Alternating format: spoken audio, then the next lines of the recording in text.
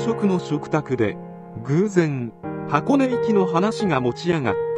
大急ぎで支度をして東京駅に駆けつけ、9時55分のアジロ行きに間に合った。2月頃から一度子供連れで熱海へでも行ってみようと言っていたが、日曜というと天気が悪かったり、天気がいいと思うと、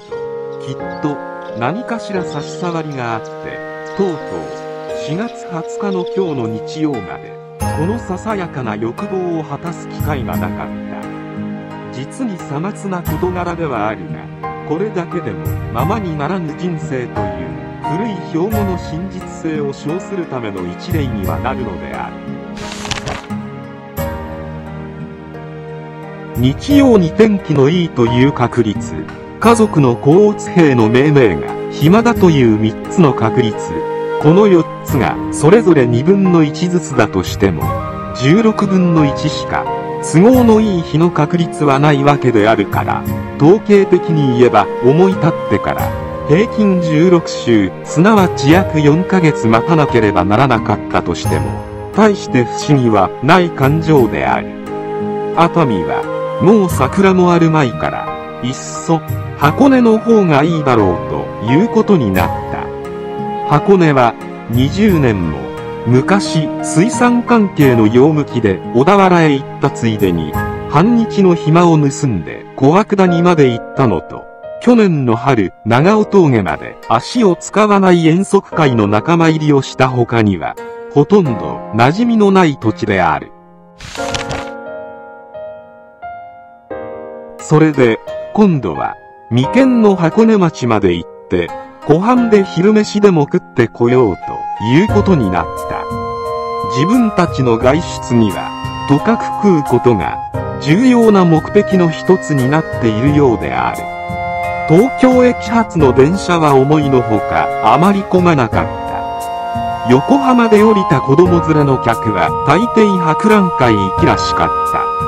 た。大船近くの土手の桜はもうすっかり八百場になっており、将来の日本ハリウッド映画都市も、今では、まだ野良犬の遊び場所のように見受けられた。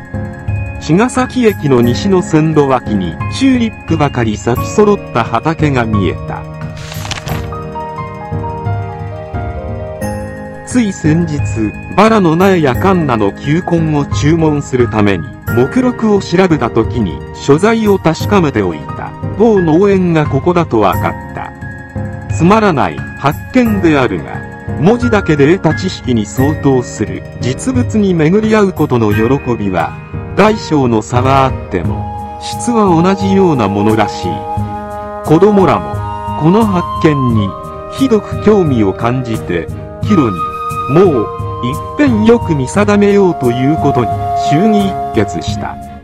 神津と小田原の中間に、スズメの宮という駅があったようだと。子供たちと話していたら、大津駅の掲示板を見ていた子供の一人から、それは、鴨の宮だという正語を申し込まれた。その子供の話によると、ワシントンという靴屋を間違えて、ナポレオンと言った友達がいるそうである。しかし、スズメとカモでは、少し大きさが違いすぎると言って笑った。スズメの宮は日光の近くにあったのである。小田原ではバスが待っていたが、箱根町行きは満員なので空席のあった小涌谷行きに乗り込んだ。湯本までの道路は立派なドライブウェイである。小田原征伐当時の秀吉に見せてやりたかったという気もした。塔の沢あたりからはポツポツ桜が見え出した。山桜もあるが、東京あたりのとは、少し違った種類の桜もあるらしい。関東地震や北伊豆地震の時に崩れ損じたらしい。傷跡が、至るところの山腹に、今でもまだ生々しく残っていて、なんとなく痛々しい。宮の下で降りて、しばらく待っているうちに、次の箱根町行きが来たが、これも、満員で座席がないらしいので、躊躇していたら、待合所の乗客係が気を利かして居合わせたハイヤーを別に仕立ててバス代用に提供してくれた。呪い人間もたまに得をすることがあるのである。小涌谷あたりは桜が満開で湯山の自動車が服装して交通困難であった。たった1台交通規則を無視した車がいたため、数十台が迷惑するというのが、こういう場合の通則である。クラブ、荒井子の旗を立てた車も、幾台書いた。協力しながら、商売の宣伝になるのは、能率のいいことである。この辺の山には、よその多くの山の概念とは、少しばかり違った色々の特徴があって面白い。ごく古い、消火山と新しい活火山との中間物といったような気のする山である。形態が火山のようで、しかも大部分植物で覆われている。しかし、その植物界の社会状態が火山でない山とは、だいぶ様子が違っているらしく見える。植物社会学者にでもこれに関する詳しい解説を聞いてみたいものである。元箱根町でまた自動車が使えて動かなくなった。向こうから妙な行列が来る。箱根観光博覧会の大名行列だそうである。ハサミ箱や鳥毛の槍を押し立てて舞踊しながら練り歩く100年前の姿をした侍日本の行進のためにモダン日本の自由主義を代表する自動車の流れがせき止められてしまったのである。青年団の人たちと警官の恋でようやくこの時ならぬ関所を通り抜けて箱根町に入った。さすがに山は山だけに風が強く湖水には白波が立って空には雲の往来が早い。遊覧船は寒そうだから割愛することにした。ホテルの食堂へ入ってみると、すぐ向こうの席に有名な某音楽家の家族連れがいる。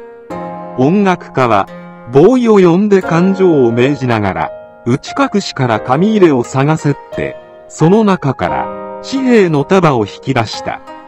10円札が2、30枚もありそうである。それを目の高さに30センチのところまで持ってきて、さて、器用な手つきをして、パラパラと数えてみせた。自分たちは、半ば羨ましく半ば感心して、それを眺めたことであった。食堂のガラス窓越しに見える水辺の芝生に、大名行列の一団が弁当を使っているのが見える。揃いの水色の衣装に、蘇生のやっこかつらをかぶった友やっこの連中が、車座にあぐらをかいて、しきりに折り詰めを漁っている。巻きタバコをふかしているのもあれば、かつらを気にして、何分も抜いたりかぶったりしているのもある。熱海行きのガスが出るというので乗ってみることにした。峠へ登っていく途中の振動からの古城の眺めは、誠に女車掌の説明のごとく、またなく美しいものである。昔の東海道の杉並木の名残が、蛇行する自動車道路を直線的に切っているのが面白い。平野では、これと反対に、旧道の曲線を振動の直線で切っている場合が多いのであり、人間の足と自動車とでは、機械が違うだけに、道路の科学もまた違った回答を与えるのであろう。航空気象観測所と無線電信局とが、まだ、下枯れの山上に相対立して、航空時代の関森の役を務めている。この辺の山の肌には、伊豆地震の名残らしい地割れの跡が、ところどころにありありと見える。これを見ていると、当時の地盤の揺れ方が、おおよそ、どんなものであったかという想像がつくような気がした。地震のあった昭和5年11月26日から4年半近くの年月が経ったのに、この大地の生傷はまだ癒え切らないのである。国峠までの自動車専用道路からの眺望は美しく珍しい。大きな樹木のないおかげで、展望の自由が妨げられないのが、この道路の一つの特徴であろう。右を見ると、伊豆の国というものの大きさがぼんやりわかるようであり、左を見下ろすと、箱根山の高さのおおよその概念が確定するような気がする。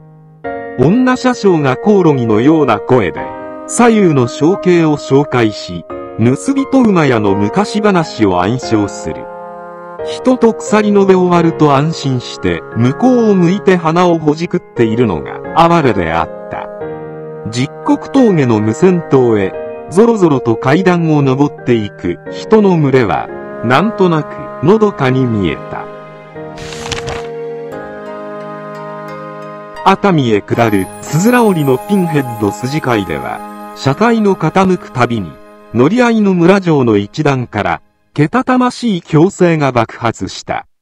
気圧の急変で鼓膜を圧迫されるのを構わないでいたら、熱海海岸で車を降りてみると、耳がひどく遠くなっているのに気がついた。いくら、唾を飲み込んでみても治らない。人の物言う声が遠方に聞こえる代わりに、自分の声が妙に耳にこもって響くので、なんとなく心細くなってしまった。熱海は自分には随分思い出の多い土地である。明治19年に両親と祖母に伴われて東海道を下った時に、途中で祖母が富士の腹痛を起こしたために予定を変えて吉浜で一泊した。ひどい雨風の晩で急ぐ津波の音が枕に響いて恐ろしかったのが、9歳の幼心にも忘れがたく深い印象をとどめた。それから熱海へ来て、大湯の前の宿屋で4、5日滞在した後に山かごを連ねて三島へ越えた。熱海滞在中漁船に乗って、魚見岬のあたりで魚を釣っていたら、大きな海うなぎがかかったこと。これを戦場で煮て食わされたが、気味が悪くて食われなかったようなことなどを夢のように覚えている。東京からはるばる見送ってきた安兵衛という男が宿屋で毎日朝から酒ばかり飲んでいて、酔ってくると、箸で皿を叩きながら、飲む大師、一生五号、南無大師返上金剛というのを、繰り返し繰り返し唱えたことも思い出す。考えてみると、それは、もう50年の昔である。30年ほど前には、H 博士の助手として、大湯間欠船の物理的調査に来て1週間くらい滞在した。一昼夜に5、6回の噴出をいろいろな機械を使って観測するのであるが、1回の噴出に約2時間もかかる上に噴出前の準備があり、噴出後の始末もあるので、夜もおちおち安眠はできなかった。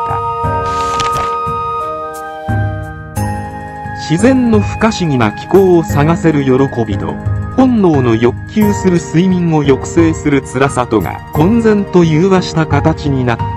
当時の記憶を彩っているようである。その頃の熱海行きは、神津まで汽車で行って、神津から小田原まで、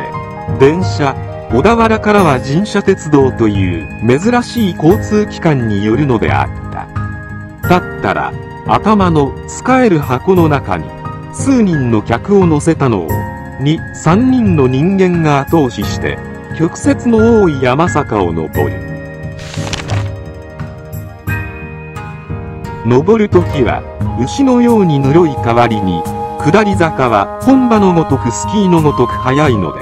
二度に一度は船酔いのような脳貧血症状を起こしたものである。やっと、熱海の宿について酔いの治りかけた頃にあの塩湯に入るとまたもう一遍軽い陽気を催したように記憶している。むやみに井戸を掘って熱線を噴出させたために規則正しい陽湯の周期的噴泉に著しい異常をきたしたというので県庁の命令で付近の新しい噴泉井戸を埋めることになった。自分は官名によってその埋成工事を見学に行ったがそれは実に珍しい見物であった。2、30尺の高さに吹き上げている水と蒸気を止めるために大勢の妊婦が骨を折って竹三元直径2インチほどの鉄管に砂利を詰めたのをやっと押し込んだが噴泉の力ですぐに下から吹き戻してしまうので今度は鉄管の中に鉄棒を詰めて押し入れたらやっと噴出が止まった。その止まり方がまた実に突然で今までの活劇がまるで嘘であったように思われた。その時の不思議な気持ちだけは今でもはっきり思い出すことができる。人間の感情の噴出でもこれに似た現象があるような気がするのである。日露戦争直後で負傷者が大勢療養に来ていたのはその時であったかと思う。郷里の中学の先輩がその負傷者の中にいたのに、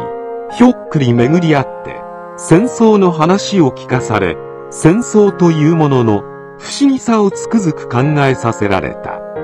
その後にまた、大湯付近の空気中のイオンを計測するために出張を命ぜられてきた時は、神社鉄道が汽車の軽便鉄道に変わっていたが、それでも、まだ、やはり朝東京を出て、夕方熱海へ着く感情であったように思う。去年、初めて、商船電車で熱海へ行った時は、時間の短縮した代わりに、昔の熱海を探すのに骨が折れた。大湯の近くまで来てみて、やっ追憶の温泉町を発見したが、あまりに甚だしい変わり方に呆れて、なんとなく落ち着く気になれなかったので、そのまま、次の汽車で引き返して帰ってきた。今日は、朝の9時半頃家を出て、箱根で昼飯を食って、2時には熱海へ来た。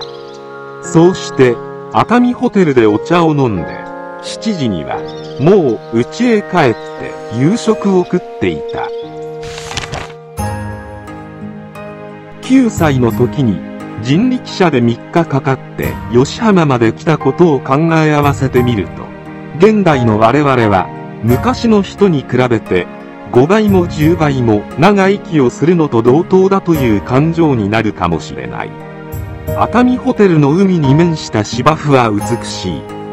去年見た新解釈、金色夜叉の芝居で柳栄一郎の富山がお宮の母と寛一の絶縁条件を値踏みしながら、2万円もやりいいでしょうと言ったあの舞台面は、多分、ここをモデルにしたものらしいと思われた。箱根ホテルでは感情を持ってきてくれと仕事も頼んで待ちくたびれた頃にやっと持ってきたのであったが熱海ホテルの方ではまだお茶を飲んでいる最中に海外し女球児が横書きの勘定書を持ってきて、サービス30銭頂戴しますと言った。箱根の山の中と、十国峠を越えた太平洋岸の熱海とで、このくらい文化の程度と性質が違うものかと言って、内緒でみんなと笑ったことであった。帰りの汽車では、忘れずに農園のチューリップとチューリップの農園の外観を網膜に移すことによって、往路の小発見の満足を蒸し返し、完成することを忘れなかった。関八州が急に狭くなったような気がして帰ってきたが、東京駅から駒込までの慣れた道筋は、その割に存外遠いような気もした。気まぐれにいつもは出たことのない東京駅東口へ出て、そこから車を拾って帰ったが、それだけの違いで、東京が、いつもの東京と少し違った東京のように見えた。我々の、まだ知らない東京は、無限に多数にあるらしい。